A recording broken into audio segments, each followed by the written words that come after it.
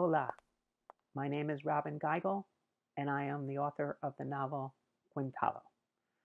First, I want to thank everyone who has worked so hard to bring the Spanish language version of my novel to all of you.